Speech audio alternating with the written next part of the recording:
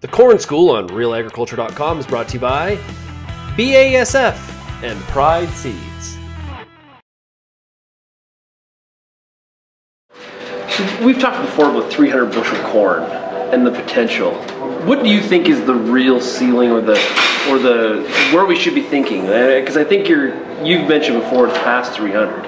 Yeah, I guess 300 is supposed to be the natural average. So some, some growers have to grow more than 300 if the average is going to be 300. I, I'd put the yield potential of corn somewhere in the 400, 450 to 500 bushel range. So it's pretty clear to me that we're not achieving the full potential of the corn crop. And so why? Well, I think it's stresses, uh, chronic stresses that uh, hit the crop uh, day to day. Th things like uh, crop management, in some cases fertility, in some cases plant arrangement, and, and then things like uh, insects and diseases and temperatures and competition with other plants.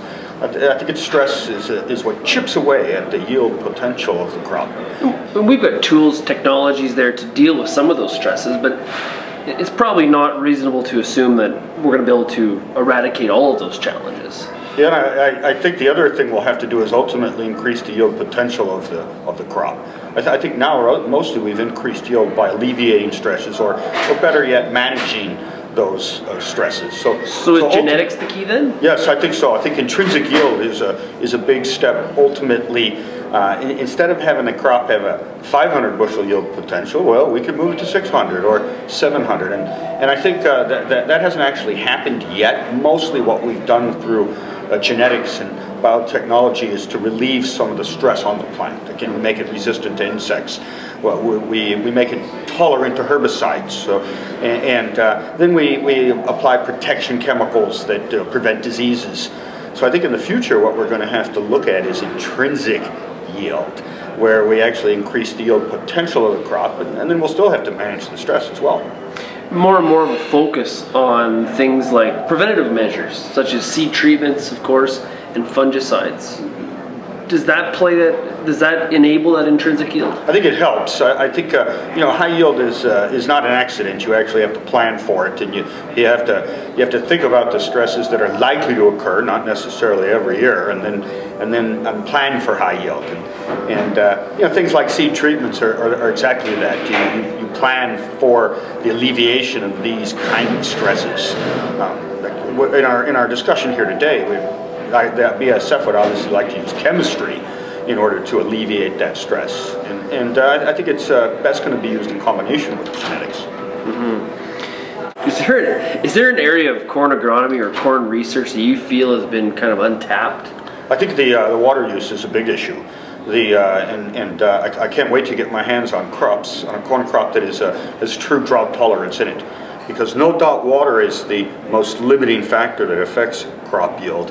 And it's one of the things that uh, you know, prevents me, I think, from managing it to its full potential.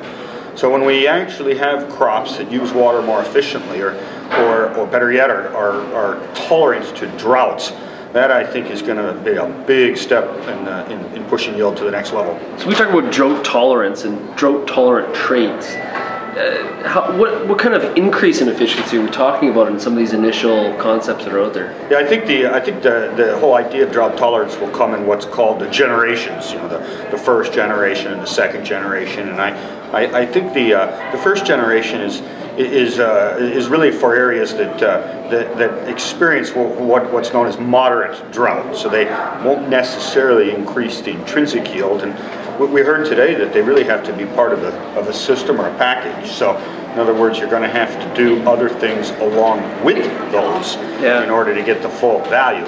And I want to, I, I, want the second generation. I want the one that uh, truly has higher photosynthesis and better yield with less water. But you, you had mentioned uh, today in the in the panel discussion that you believe that the drought tolerant sort of traits have a fit across the whole Corn Belt. I do indeed. Uh, I, I, do indeed because uh, drought is uh, the water is the single most limiting factor that that governs and, and lowers our crop yields. And so if, I know that if uh, you could remove water as a limitation, that allows you to, to fully respond to some of your other management factors and, and some of your protection chemicals. But if I'm get if I if I'm in an area where I'm I'm assured uh, access to water, Why would I need that, that, that trait?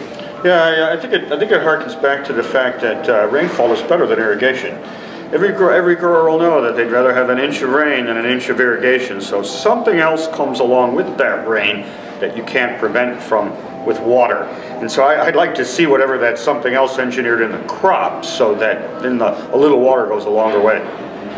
You, you had mentioned uh, today that uh, you've been waiting your whole career for uh, corn yield to become sexy again. What do you mean by that? Well, I finally, you know, I, I spent a lot of time uh, uh, trying to trying to, pr to, produce corn with less inputs. In, in, other words, save the grower to prosperity. This this idea of maximum economic yield, and you know, we set land aside, and and, and now with the uh, with us truly thinking about population and, and the population actually growing. Uh, now the focus is on actually more yield and, and, and better yield. So, so uh, it, it's, a, it's a good time to be in agricultural research. I, I finally feel that uh, the reason I went into it, uh, sort of a little bit of altruism, is, is actually coming to bear.